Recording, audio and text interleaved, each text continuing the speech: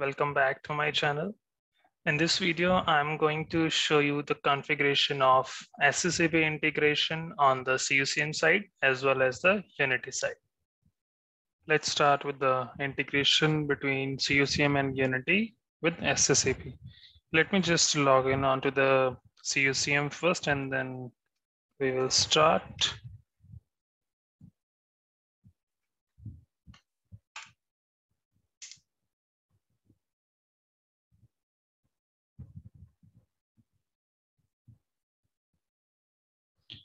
So before starting the integration between CUCM and Unity, we need to we need to create few things.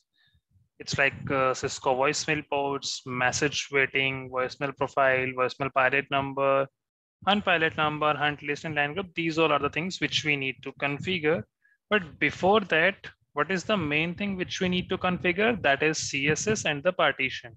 So let me create a CSS and partitions first for this voicemail and then we will proceed further. So let me go to the call routing and create a partition first. So let me give it a name as a voicemail partition. So that should be VM underscore PT. This would be our partition for the voicemails.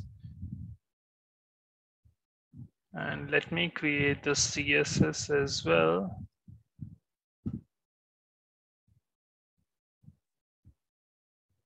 Click add new. Let me give the name as VM underscore CSS. Description would be, I can give the same. And let me choose the partition which I just created, voicemail underscore PT.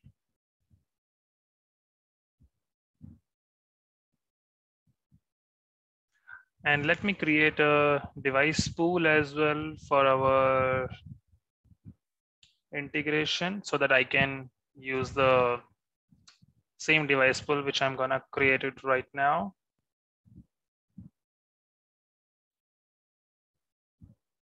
So I can give the device pool name as well, voicemail underscore device pool. I can choose the Cisco Unified Communication Manager group, that is CUCM group. As of now, it is default.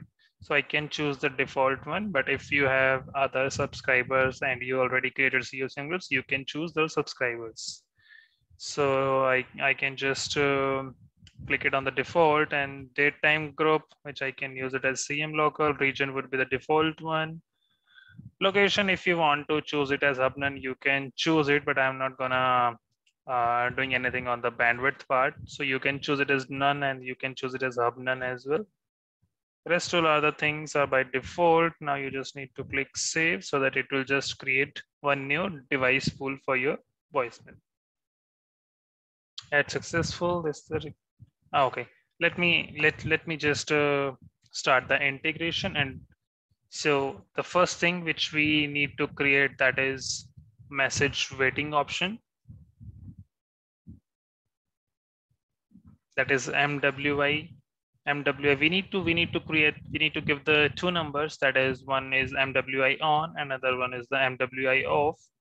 So let me click on add new and I can give the unique number on the message waiting. That is, I can give 6570 as a as a MWI off. Here you can choose MWI on and MWI off. So I'm choosing MWI off with the 6570 number. Partition we can choose, which I just created voicemail underscore PT. Description, you can give it as MWI of. CSS, you can choose the same, which I just created for the voicemail, voicemail underscore CSS, and you can click on save. So we created 6570 as a MWI off number. Now I'm gonna create MWI on with the another number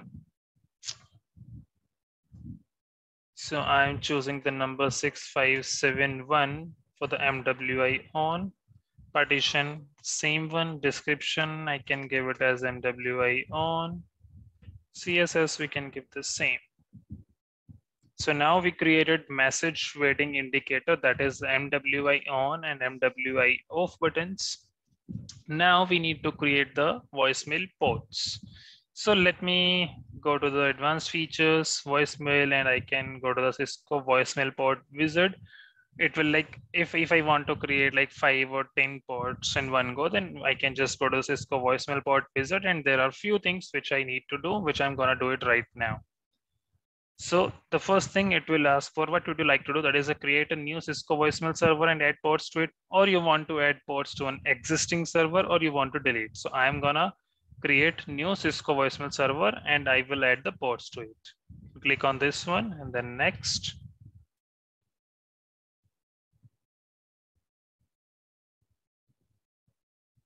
So after clicking on next, it will ask for a new voicemail server which is just like pre-populated that is add ports to a new Cisco voicemail server using this Cisco UM1. You can give any other your name as well, any other any other name which is suitable for you. So right now I'm using the same one, Cisco UM1, then click on next.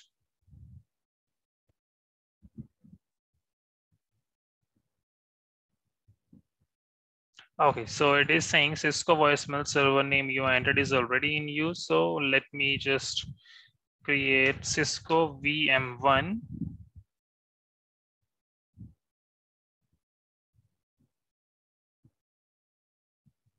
Okay, now it is asking how many ports do you want to add? Let me just choose five ports.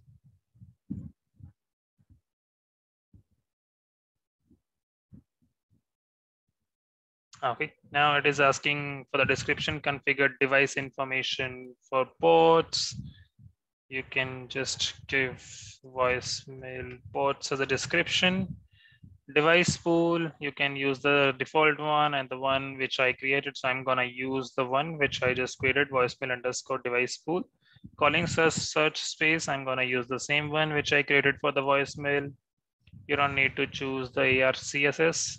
Location, you can choose hub none, device security mode, standard non-secure voicemail port and the trusted point would be default one. Click on next.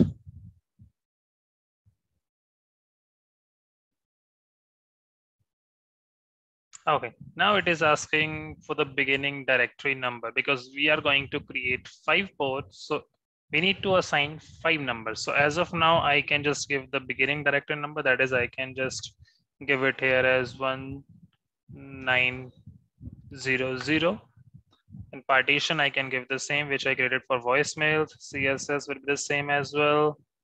Now internal caller ID, internal caller ID. Then, then we have external phone number mask, external number mask. Like whenever it is going to the voicemail, which number it should show there. This is not a mandatory, but if you want to give it, give any any external number mask, then you can give it here as well. Like I can just mention plus 1, 2, 3, 4, 5, 6, 7, 1, 9, 0, 0. Or we can say plus 1, 2, 3, 4, 5, 6, 7, 0, 0, 0, 0. Click on next.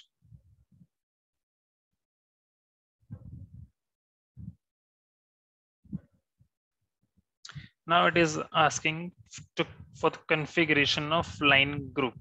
So we can do one thing, we can we can just click on yes, add directory numbers to a new line group, or we can say yes, add directory numbers to an existing. If we already has an existing line group, then we can choose this one. And if you want to add them later on, you can just click on no, I will add them later. So we are going to create a new line group here as well. And we will add these directory numbers starting with 1990 till 1904. And we will add it under one line group. So once I click on yes, add directory numbers to a new line group, it will just populate and it will ask for the new name for the line group. So it is asking, it is saying enter the line group settings Cisco voicemail server, line group name, Cisco VM1, you can change it. Line group name, you can say VM underscore line group.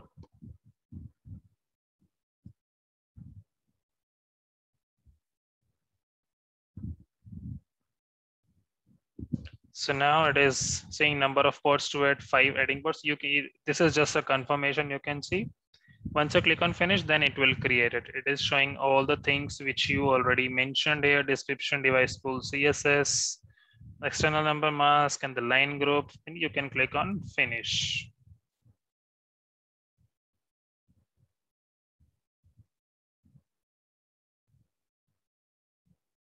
So now it is not giving any error. It means it's created. So you can see it here. It is saying successfully create number plan 1900, 1, 2, 3, and 4.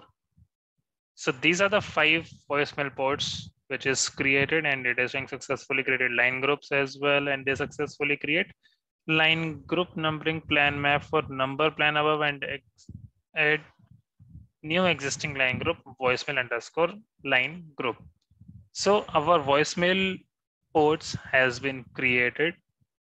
Now, now we need to uh, create, we need to just uh, configure other things that is voicemail pilot, voicemail profile, hunt pilot, hunt list, line, line group is already created. So now I'm going to create hunt list first. So you need to go to the call routing go to the hunt list.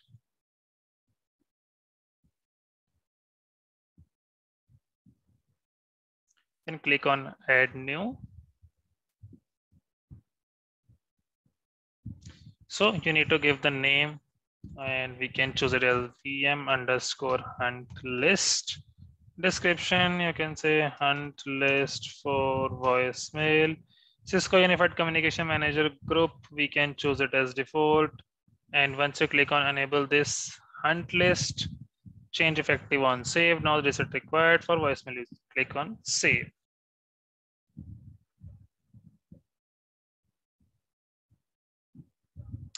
So it is just uh, giving a warning. The selected CUCM group has only one CUCM configured for the control process of redundancy. You need to select another CUCM group with more than one call manager. You can just ignore this warning as of now.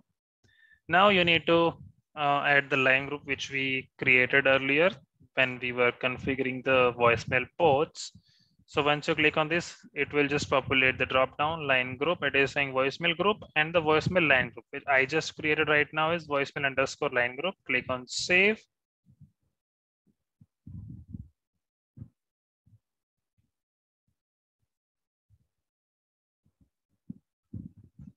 Okay, now you can see it is showing add line group. Line group is already added here and then we can click on save.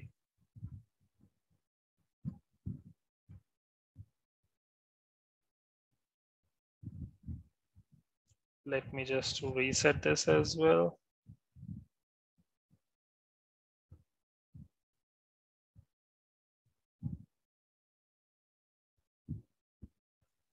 And close.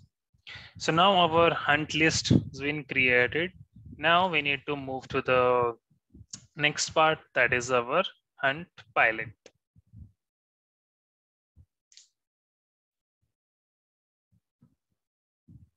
Click on add new. Make sure your hunt pilot number and the voicemail pilot number should be same. So let me just create the hunt pilot number as 2100. Then we can give the route partition as the same, which I created for the voicemail. Description, you can say hunt pilot for voicemail. You need to choose the hunt list, which I just created right now. I just created VM underscore hunt list. And I don't think you need to choose any other settings right now. Let me just check it once again. Yep, all good. Let me let me just save it.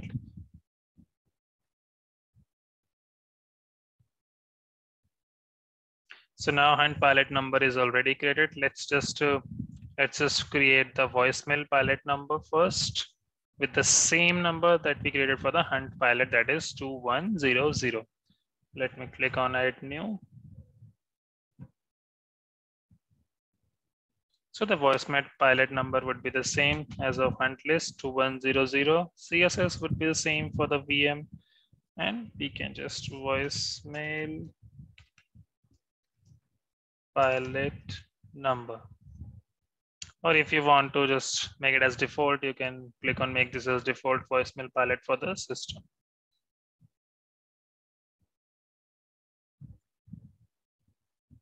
Oh, it, it's showing ad successful. So we already created voicemail pilot number, hunt pilot number, hunt list, and the line group and line. So voicemail pilot number is 2100 and then the hunt list hunt pilot number is also 2100, which is same. So let's move on to the last task, which we need to get for voicemail, that is voicemail profile. Let me click on add new. voicemail profile name. So we need to give the voicemail profile name here first. So we can just uh, give it as voicemail profile for 2100. That is a voicemail profile name. Oh, it doesn't contain.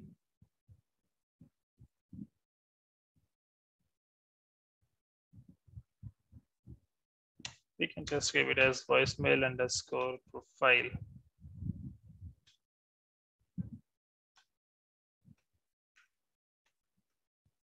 description, we can give the same voicemail pilot.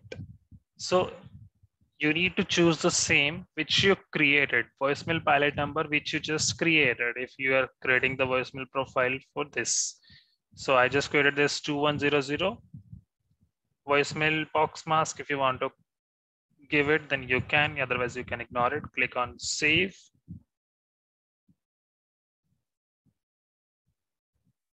Okay. Now all other th all the things in CUCM has been configured for the integration of voicemail with the Unity. So what what we what we already created so far. So we created voicemail profile, which contains the voicemail pilot number that you can see it here as 2100 voicemail underscore CSS. And this voicemail pilot number is same as the hunt pilot number, which I just created. So hunt pilot number 2100 contains the hunt list, which I created. And that hunt list contains the line group. And that line group contains the voicemail ports, which we created through Cisco voicemail port wizard, this one. So all the things we created, we configured on the CUCM now. Now we need to configure the same things, or we can say the configuration on the Unity as well. Let me log in on the Unity first, and then we can start the Unity site configuration.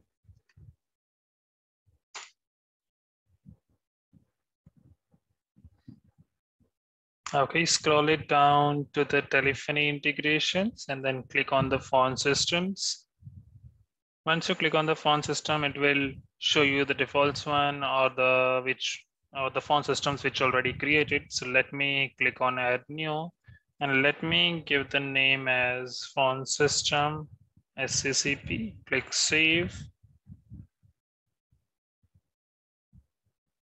Now after phone system has been created, you need to add the port groups.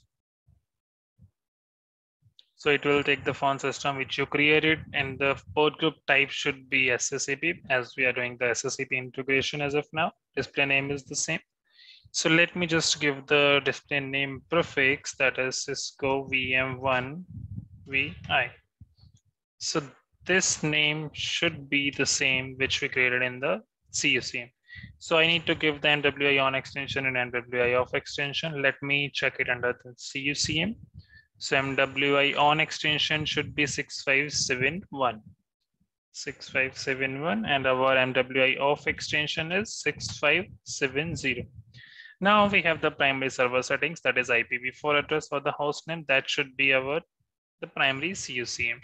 So here in my case, the primary one should be 10, 10, 21. Okay, now it is asking, uh, now it is saying port group has already been created. Now I need to uh, add the ports as well. But before that, let me just add my secondary server that is subscriber, I can say. Let me add it here as well. Let me give that the order is 1, 10.10.20.2. and let me save it. Okay, it's already saved. Let me just go to the ports and let me create the ports. Let me click on add new. Number of ports which I needed, that is five. Phone system, that is phone system SCCP. Port group it's already taken. Server is this CUC server. Let me click on save.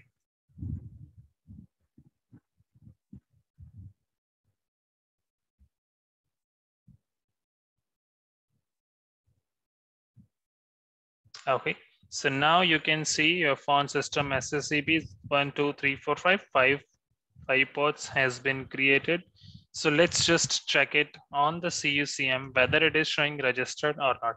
If the integration is successful, it should show the registered. Let me check it in the voicemail ports.